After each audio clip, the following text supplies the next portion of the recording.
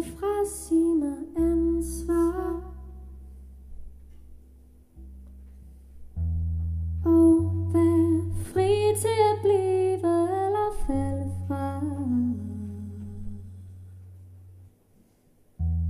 Jeg skæver mod en gyldig nødgang For jeg gør klogt i at kende dig i et here.